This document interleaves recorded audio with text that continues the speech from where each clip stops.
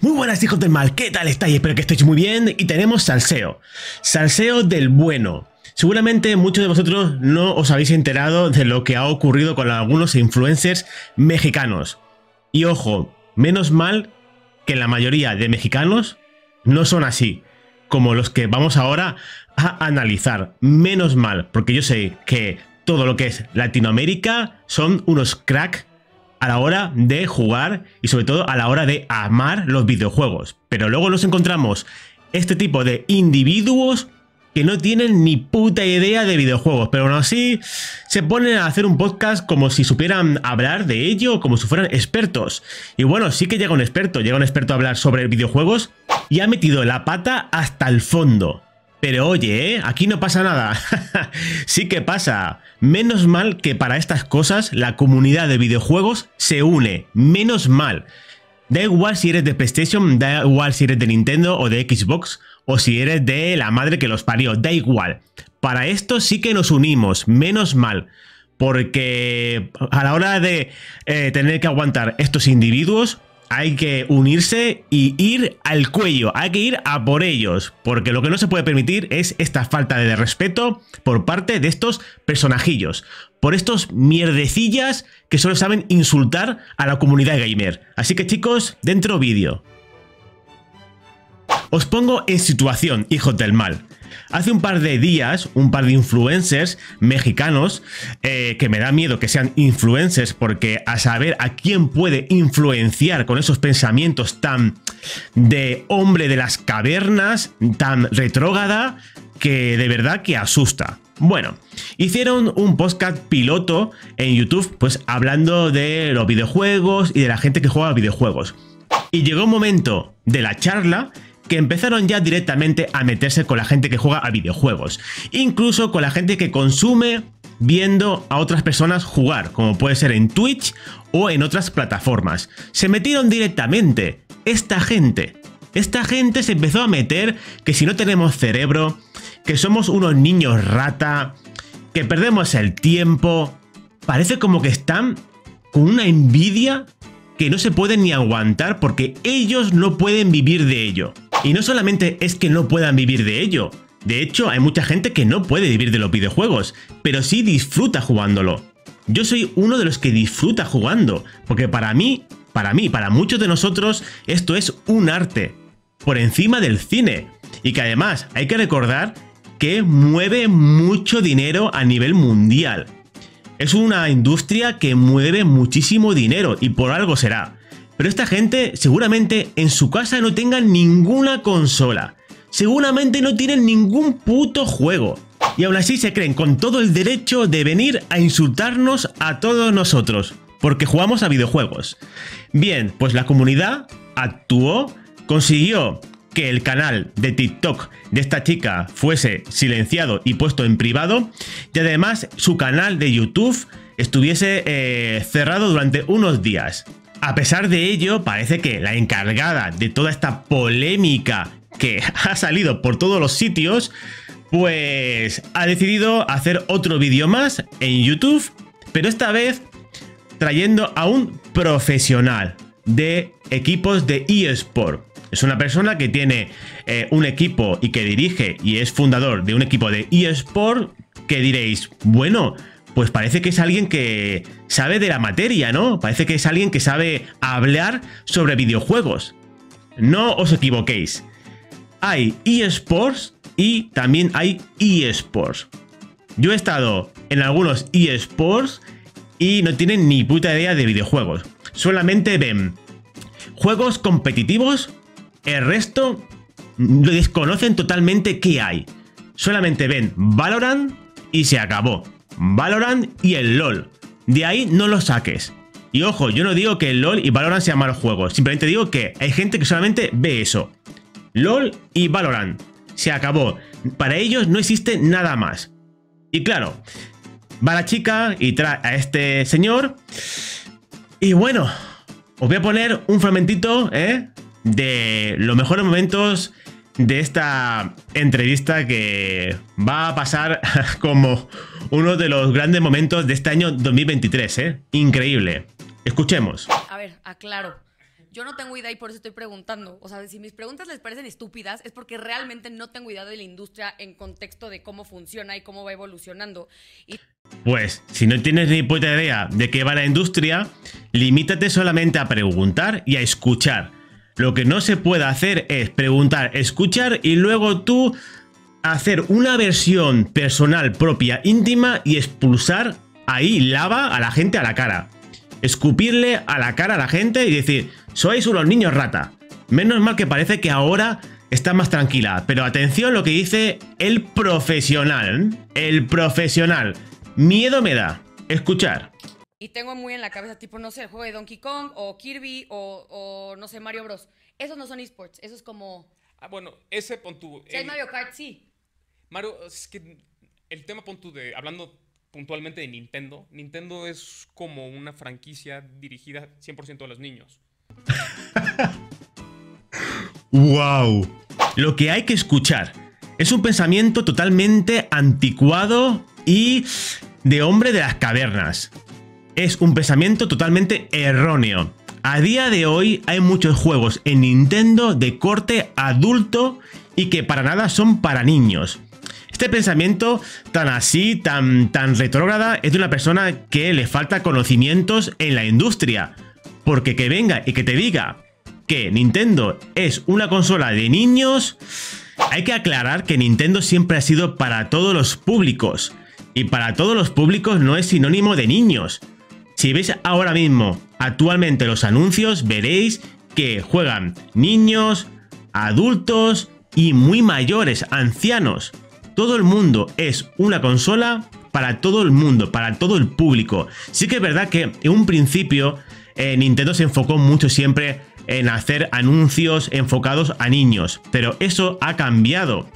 Ese pensamiento es un pensamiento erróneo de que el Nintendo es una consola para niños. Hay videojuegos en la consola de Nintendo que ya os digo yo que no son de niños, ¿eh? Ya os digo yo que no son de niños. Otra cosa es que tú tengas una plataforma como PlayStation o un Xbox en la cual solamente juegues a juegos para niños, porque en Xbox o en PlayStation también hay juegos solo para niños. Entonces, ¿también es para niños PlayStation o en Xbox? No. Depende de tu catálogo y depende de quién tenga esa consola. Pero bueno, vamos a continuar. Escuchar. Es, es- es O sea, un como child- Lego, ¿Sería como Lego? No, no, no, no, sin confundir luego con, con esta parte, porque lo que quiere hacer Nintendo es como no quieren permitir todo el tema de apuestas dentro de sus juegos, aunque tienen un juego súper competitivo, que puede ser Super Smash, o sea, ya hay una afición ¿Qué es Super grandísima. Y, y no sabes, eh, de Linet hecho, sabe, uno- es que aquí... uno de los mejores jugadores del mundo, Emki Leo, es mexicano y Super Smash, pero el tema es que Nintendo nunca va a hacer estas competencias porque se consideran como una empresa para niños, entonces no quieren que lo relacionen más que nada por Nintendo se considera una empresa para niños, ¿eh? Lo dice él, ¿eh? Ojo, ¿eh? Lo dice él. casas de apuesta. A ver, sería el. Disney de... Porque no mete casas de apuesta o no mete cofres en sus juegos, ¿eh? Ah, vale, ahora será malo no incluir, ¿eh? Micropagos y microtransacciones, ¿eh? Para ludópatas. Por eso es para niños, porque eh, no los mete, no los mete. Wow. del mundo de los videojuegos, por poner un ejemplo, un símil. Exacto, o sea, es 100% child friendly, no me quiero meter en este tema. ¿no? O sea, nunca van a desarrollar un juego que tenga que ver con guerra, que tenga que ver con armas. Sí, no, que ver- sí, sí tienen, ¿no? O sea, tienen, tienen jue- juegos que son para audiencias mature, como si tienen un Resident Evil, de repente sí tienen juegos con Call of Duty, o sea, sí, sí tienen juegos para... Bueno, este hombre creo que hace tiempo que no ha tocado una Nintendo, ¿eh? Hace tiempo, ¿eh? Porque el último Call of Duty que salió en Nintendo fue en la Wii U. En la Wii U, que me lo compré yo. En la Wii U. Desde entonces no ha salido ningún Call of Duty para Nintendo. De hecho, en la Nintendo Switch, en la Nintendo Switch no hay ninguno. De ahí el acuerdo con Microsoft de 10 años. Pero bueno, él se ha quedado ahí, en esa época, yo qué sé, ¿eh? de, de hacer, de crear fuego, de la creación del fuego por el ser humano. Continuamos. audiencias grandes. Pero... eh, Pero eso- sigue siendo Nintendo, o sea, sigue siendo firma Nintendo o es como una extensión de línea de la propia. Ojo a lo que viene. Ojo a lo que viene, ¿eh? Escuchar bien porque esto ya es el boom. marca para que pueda tener como esta comercialización de juegos un poco más Es que lo para que, adultos. lo que tiene Nintendo es una consola. Ajá. O sea, Nintendo nunca va a desarrollar juegos, pero también hay otros desarrolladores de juegos que no son de Nintendo. Brutal. Nintendo nunca va a desarrollar videojuegos. Tiene una consola. Brutal. Decidme, si esto no es nivel. Es un nivelazo. Tiene una consola pero no desarrolla videojuegos, claro. Por eso no tenemos Pikmin, no tenemos Zeldas, no tenemos Mario Kart, no tenemos Yoshi, no tenemos Animal Crossing, no tenemos... Eh... wow, tío, wow. Si Nintendo lo que mejor sabe hacer, aparte de consolas, ¿vale? Consolas que son para jugar, solamente para jugar, y ya está, es hacer videojuegos. Se le da de puta madre hacer videojuegos porque casi todos tienen una calidad extrema. Casi todos los videojuegos de Nintendo que ha desarrollado Nintendo tiene una calidad brutal. Son súper divertidos, te hacen volver a jugarlos otra vez, tienen buena historia, son muy muy divertidos, tienen una jugabilidad brutal. Y va el tío y te dice, hay que recordar que fundador y director de una academia de eSport y te suelta de que Nintendo no desarrolla videojuegos. Increíble. Que pueden ponerlo, o sea, pueden poner sus juegos en la, consola de Nintendo, aunque no sean de Nintendo. Ok, PlayStation. Terceras compañías, tío, terceras compañías. Según él, terceras compañías llaman a la puerta de Nintendo y les dice, oye, ya que vosotros no desarrolláis videojuegos, pues queremos poner nuestros videojuegos en tu consola. Bueno, pues como la mayoría, ¿no? Pero es que Nintendo desarrolla videojuegos, tío. No te enteras de nada. Menos mal, ¿eh? Ya os digo que menos mal que casi la mayoría de mexicanos y de latinoamericanos aman los videojuegos y tienen mucha más idea y mucho más conocimiento del mundo de los videojuegos que este señor y la chica que lidera todo este show ¿eh? mexicano que la verdad es que se podría dedicar a otra cosa. Eh, Xbox son desarrolladores de consolas y de juegos, pero también hay empresas que nada más desarrollan un juego que puede jugarse en una consola de PlayStation o Xbox. Exactamente. Ahí, ahí es un híbrido, ¿no? Ahí se ha quedado ya el tío. Em, em, no sé qué decir, no sé qué decir. Mm, sí, exactamente, es un híbrido. bueno, pues chicos, este es el nivelazo que tenemos. Quería hacer un vídeo pues hablando de esto porque creo que me alegra mucho saber que la comunidad, que todos nos hemos unido sin ver el color ni la camiseta que tú te pones, nada, da igual. Todos los jugadores nos hemos unido para ir a por esta gente y los que vengan en el futuro.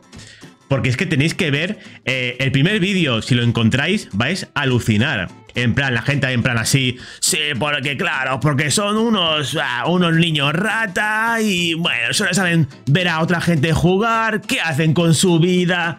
Oh. Vaya nivel, eh, chicos, vaya nivel. Bueno, chicos, que sepáis que esto es lo que hay por el mundo.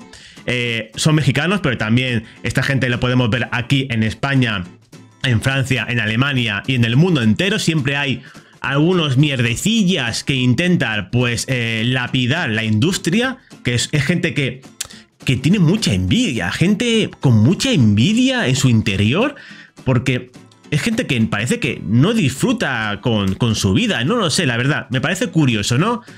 Pues nada chicos, Espero que hayáis disfrutado con el vídeo, ponedme en los comentarios qué pensáis de ello y nos veremos en un siguiente vídeo a disfrutar, hijo del mal. Que vaya telita como está el tema, ¿eh? Uf, uf. Nos vemos en un siguiente vídeo, chicos. A cuidarse, hijos del mal. Chao.